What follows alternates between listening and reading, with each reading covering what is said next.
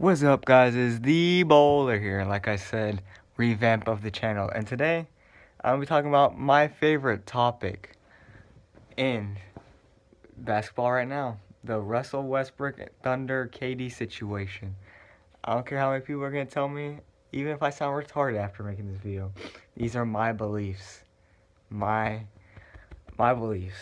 Anyone could tell me I'm wrong. I don't care.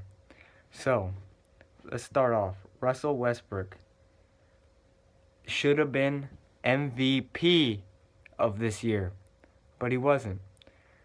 Steph Curry was. Now, Steph Curry might have broken a lot of records, but overall, most explosive, most best, triple doubles all the time, Russell Westbrook. Michael Jordan compared himself to Russell Westbrook. He said Russell Westbrook is him 30 years ago. Now, if you're not the GOAT then, and the GOAT says you're the GOAT, I don't, I don't know what to say. Now, LeBron might be the best athlete in the NBA, and probably sports right now, but Russell Westbrook is the best player overall. I know no one's going to agree with me.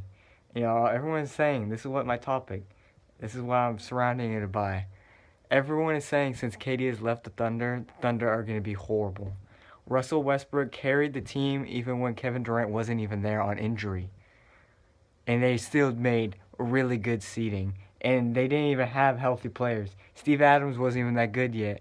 Ibaka, he was, I think, out with injuries too. Oladipo wasn't there. We're going to see how good he is this year. So many different things. And his cancer wasn't there. Now we have a whole team. Or not me. Thunder are not my favorite team. But the Thunder have way better possibilities. Now that you're thinking, it's like, oh, KD is the centerpiece. That's holding together. He's the team. He is not. He might have gone to Golden State. Golden State made a super team. That's going to be hard to come by in the finals for any team. But you have to wonder, like, why Russell Westbrook stayed also in Thunder. You also have to think about that. He stayed because he knows he's the best and he can win a ring by himself. He doesn't need anyone to tell him anything. He's going to show the world he is the best player this year. I will doubt you not. He will get MVP. He will make it very high into the in the final or very high into the playoffs this next year. Now it is off season. We still have a while to go until October, end of October, whenever it starts up again. I keep forgetting about that day. But yeah, another thing Russell Westbrook, he has always been better than Kevin Durant. Kevin Durant has a bigger name on him, though. It's Kevin Durant. Russell Westbrook is the most overlooked player, second most overlooked player in the NBA right now. Number one, Damian Lillard. Damian Lillard is the best person. He dropped 50 points so many times after not being in the All Star game to show everyone he's good enough, and still nobody believes him.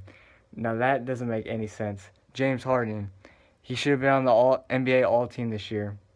He wasn't.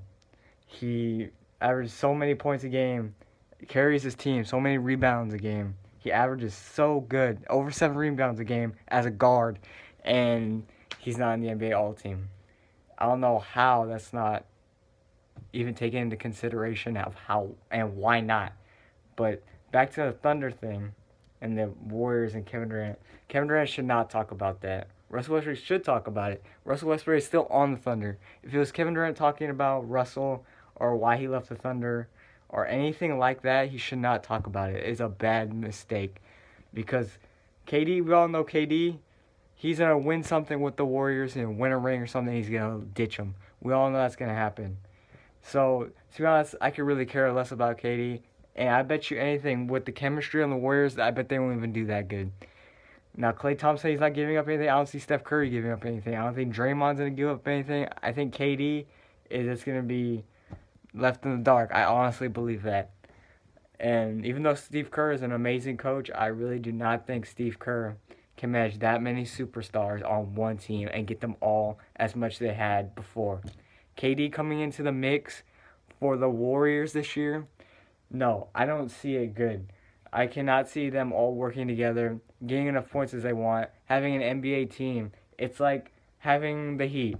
They didn't have they had three amazing players all on their team at once. But you saw Chris Bosh fell through, Dwyane Wade with injuries, and and LeBron James carrying the team. You saw the same thing with with blanket and blanket of the Cavs. Chemistry was horrible. Kevin Love, one of the best big man power forwards in the league, now dropping to really bad. He's horrible. He's Kyrie Irving. Now he's still an amazing point guard, but the chemistry with LeBron and Kevin Love and the rest of the team was horrible until they got their new coach. He took it all and he put them and told them what he needs to get done, and they got it done. That's why the Cavs won the championship. Now, I'm just going off so many topics right now, getting in to my first video. But yes, guys, that's going to be the video. We're at 5 minutes, about to be 6. And let me know, guys, what y'all think about this, revamp of the channel. I can talk about whatever y'all want. And I'll see y'all. Wait, first, I won't see y'all yet. Like, comment, and subscribe, and I'll see y'all in the next one.